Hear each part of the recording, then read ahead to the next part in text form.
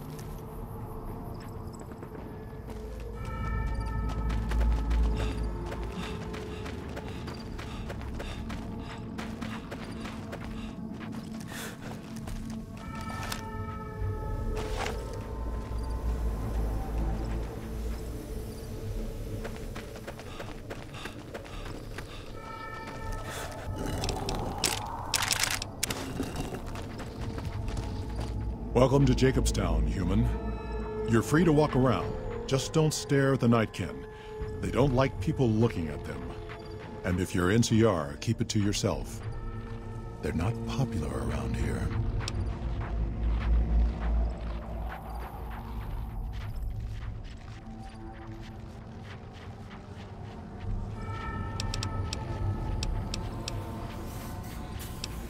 Same as any civilized town. Don't start any fights or steal anything. We'll treat you fair. Not a lot to ask. Such as... Was a resort pre-war. I renamed it to Jacobstown after an old friend. Died a long time ago. I figured us mutants needed a place to call our own. Town's far enough away from humans so they don't bother us much. One of these days, I'm hoping we can trade with the rest of the wasteland. No more fighting, just get along. Was part of a super mutant army. Ran a town, walked the wasteland with a tribal. Now I'm here. Town was Broken Hills. Bunch of super mutants, humans, and ghouls all living together peacefully. Well, most of the time. Long story, so here's the short version. The Master created the super mutants and Nightkin. The Master thought he could unify everyone. No more differences, no more war. Didn't end well. A lot of bad blood between super mutants and humans. Goes back years. Some here still got the scars and memories. Me? I don't really have a problem with the NCR.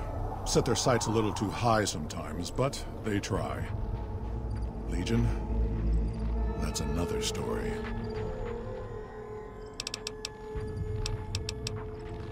Caesar thinks he can change human nature. Most of the Legion is following Caesar, not Caesar's ideals. When he's gone, it'll crumble. Might not happen overnight. Might take a few decades, but it'll happen. Basic human nature. Greed, ambition, jealousy. We'll see to it. Seen them grow from a single town, Shady Sands, into the Republic. They've done good for the most part. Docks inside the lodge. Nightkin suffers schizophrenia from the stealth boys they're always using. One of the reasons I settled Jacobstown was so they could be cured. While they're in town, the Nightkin aren't allowed to have stealth boys, so their craziness doesn't get worse. Trouble is, the Nightkin don't like being visible either.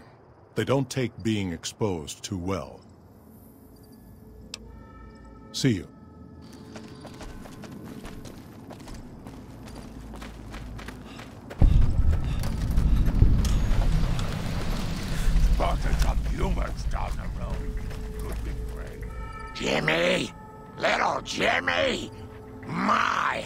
You're grown up! So good of you to come visit your grandma. Oh, Jimmy, don't you go being silly now. Come over here and give your grandma some sugar.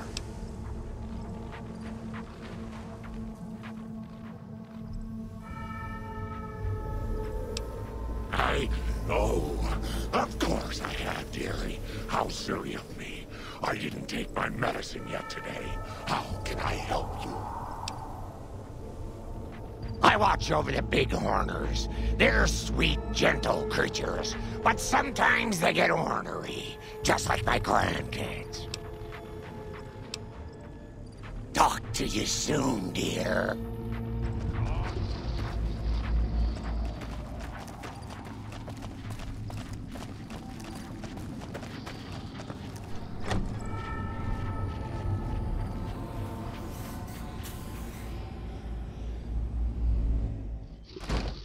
Another human. One was enough. Bother someone else. I don't want anything to do with you.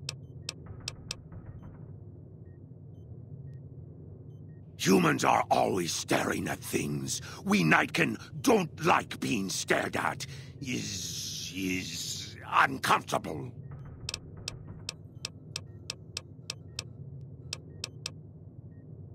Ah, humans.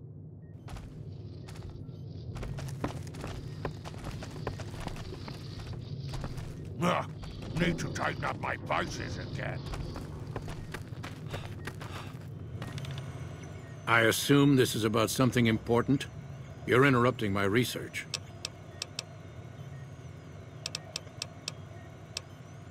Yes, specializing in neuroscience, both human and canine. Of course, this lab is nothing compared to what I had when I was with the Enclave. Yes, but the leadership and I didn't see eye to eye, so I left. It was the right decision, since the Enclave's oil rig was destroyed not long after. Cyberdogs and the like. It's not a field I work in much anymore. It's neural degradation. Biomed gel can only preserve a living brain for so long, so you'll need to find a replacement. I haven't left Jacobstown in years, but there was one woman in Novac, Gibson. I remember her living with a pack of hounds. Aside from her, I know that the Fiends and Caesar's Legion fight alongside dogs. There could be viable specimens among them, if you can get to them.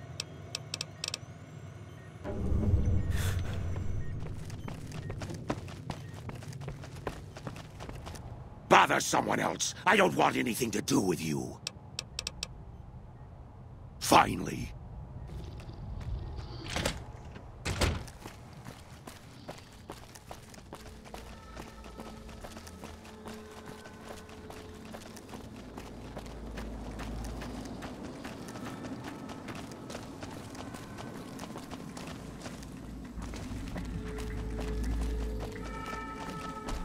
Got a problem. Could use your help.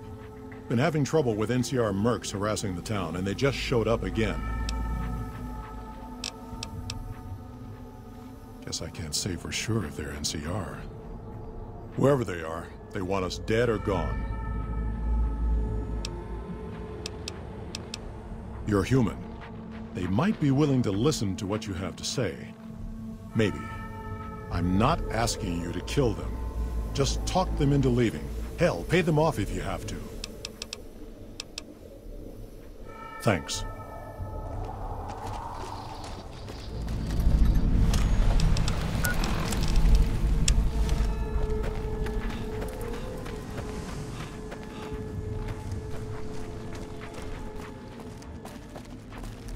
Our business is with the Muties, not you. Whoa, whoa. Thought you looked familiar. I'm just doing a job, nothing more. Politics aren't my thing, so if you say go, we'll go. No hard feelings.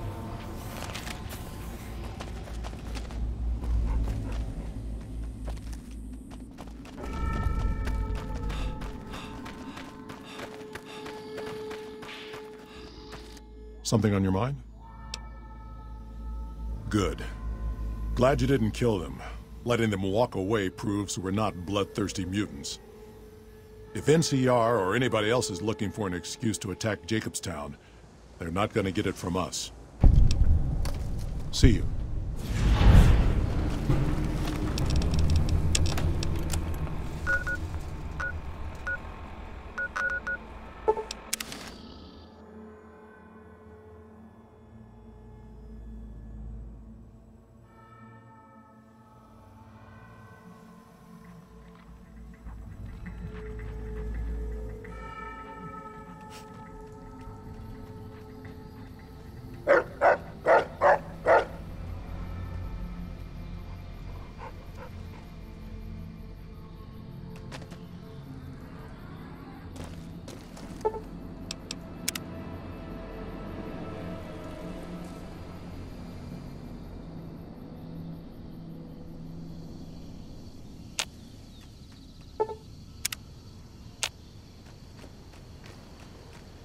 So, you're back. Now, where did we leave off?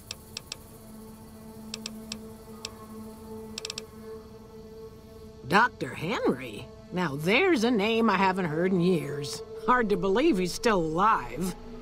As for your request, it's uh, a bit ghoulish if you ask me, but Ray is pretty old, and I'll probably have to put him down soon enough. As for the price for this favor, 700 caps sounds about right. Raised like family, and I've got other dogs to take care of. He and I had joined up with the same caravan. Add in a lot of whiskey and, huh, well, let's just say we got to know each other. Here. Mama's got something for you.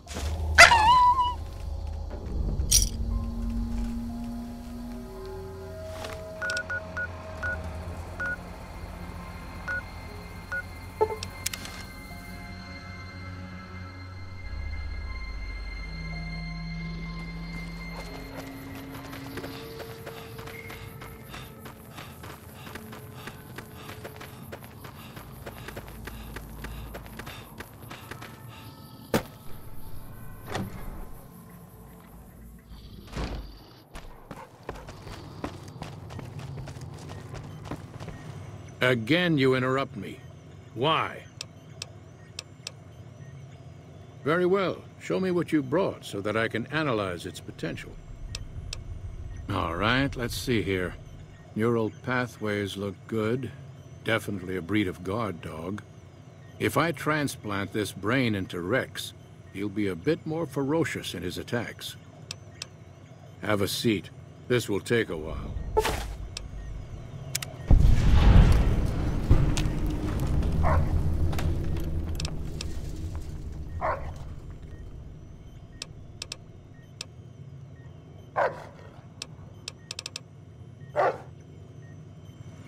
Again, you interrupt me. Why? Promising, but I won't be able to synthesize the drug anytime soon. I really should get back to my work. The Nightkin have varying degrees of mental instability due to their addiction to stealth boy use. I've been trying to come up with a cure. I'm currently investigating the local Night Stalker population, since they seem to have developed a natural stealth field. I've also gotten my hands on a working Stealth Boy Mark II prototype, but that experiment is riskier. I'd rather not pursue that research just yet. The stealth field has been modulated to use less power and thus last longer, but for some reason it has pronounced negative effects on the user. However, these pronounced effects will allow me to pinpoint exactly what parts of the brain they're affecting. Unfortunately, I'll need to run the test on a live subject and Marcus has encouraged me to investigate the Night Stalker mutation first. It's possible, but I've yet to see any hard evidence or hear of any cases where humans were negatively affected. Its negative effects are more pronounced on Nightkin. I'm not convinced that the Night Stalker mutation is a natural one, and I need someone to investigate their lair for proof. Some of the super mutants have looked around as well, but they've come back empty-handed. Perhaps a pair of fresh eyes will have better luck. Lily might be interested in coming with you. She's lost a few of her bighorners to Night Stalker attacks, and would enjoy a little revenge.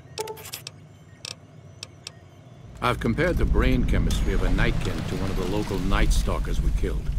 They both exhibit similar neurochemical changes.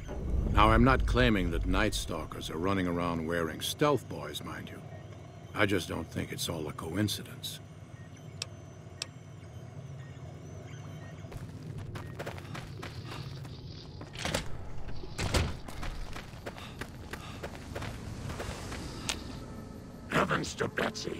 But Mr. Benny meant a nasty end.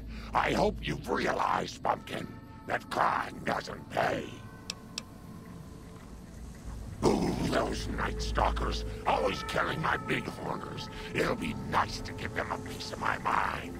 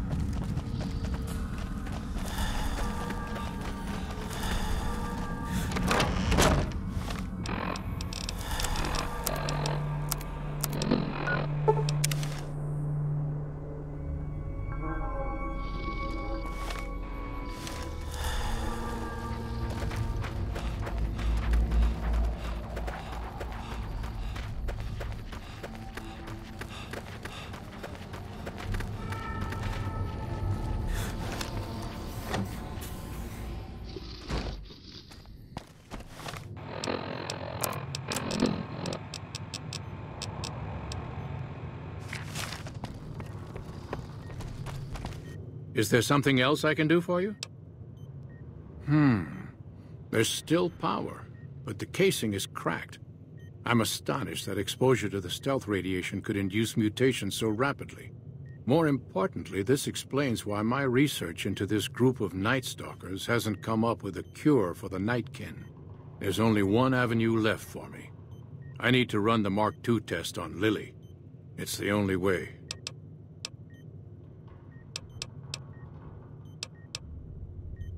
Lily is eccentric, certainly, but I've never felt she was dangerous.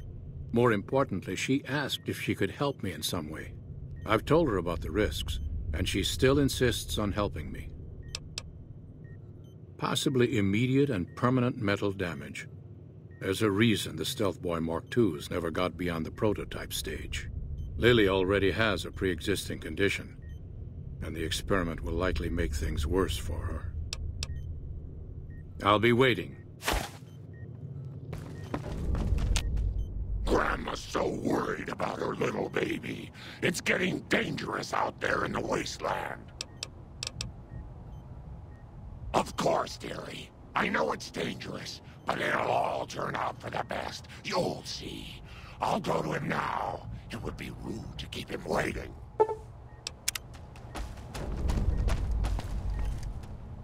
The equipment is hooked up and ready.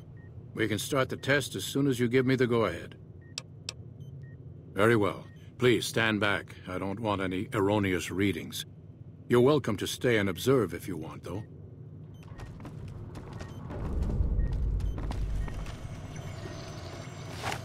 All right, power on the stealth boy, Lily. Turning it on.